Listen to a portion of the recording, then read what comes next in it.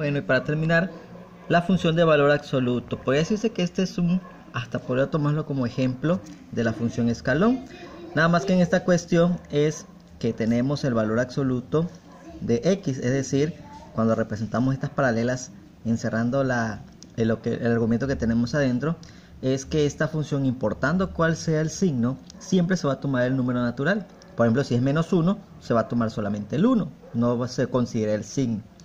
Bueno, para este caso eh, vamos a evaluar lo que es el menos x y el x, es decir, que f de x con el valor absoluto de x va a ser igual a menos x.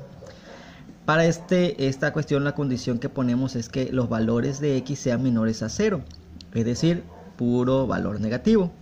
Y para este otro es que los valores de x sean mayores igual a 0, es decir, del 0 en adelante, el 0 y números positivos. ¿Ok?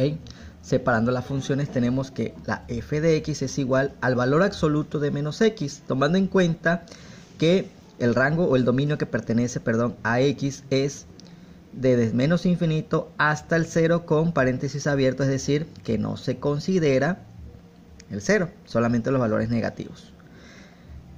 En este caso los valores negativos van a ser menos 3, como es el valor absoluto de menos x, es decir, no importa el signo, solamente se toma el número.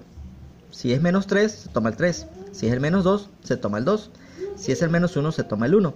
No es un inversor, hay que aclarar eso, no es un inversor, sino simplemente es el valor numérico natural que se toma de la x. Si fuera inversor, para este otro caso donde f de x es igual al valor absoluto de x, pues estos serían invertidos, ¿verdad? Pero no, solamente se toma el valor absoluto. En este caso, pues el valor absoluto va a ser el mismo origen que tenga cada número del dominio para su rango, Para su imagen. Si el valor absoluto es 0, bueno, es 0. El valor absoluto de 1, pues es 1. El valor absoluto de 2 es 2 y así sucesivamente. Ok, especificamos que en este caso el dominio va desde corchete, es decir, cerrado, en 0, se toma en cuenta el 0, hasta infinito pero solamente tomé estos valores para no hacer tan grande lo que sería la tabla. Aquí vemos algún ejemplo, es decir, tomamos en, este, en este caso en cuenta el f, la función de menos 3 es igual al valor absoluto de menos 3 y nos va a dar 3. Lo que les decía, simplemente se quita el signo y se pone el valor absoluto.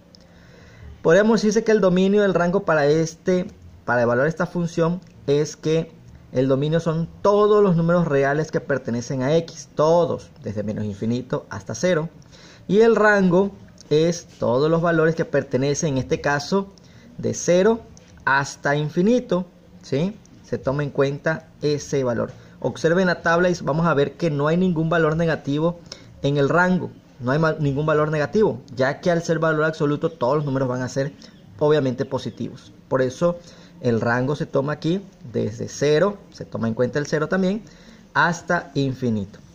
El gráfico resultante pues es este, donde tenemos representando la parte de la menos x, es decir, de f de x igual al valor absoluto de menos x, y f de x es igual a x. Este es el gráfico que resultamos aquí.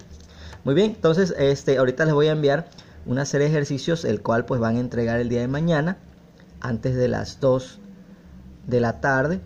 Y pues cualquier duda, aclaración, pueden enviarlo también al grupo y pues eh, eh, estaremos atendiendo esa, esa parte también.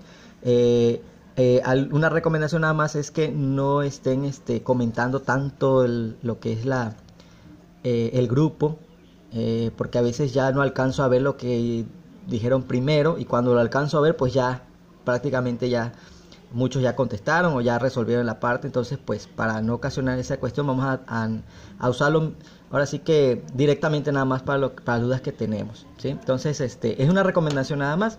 Y pues también eh, decirles que eh, durante este tiempo que estamos en, cuarentena, pues que las clases así se las voy a estar enviando.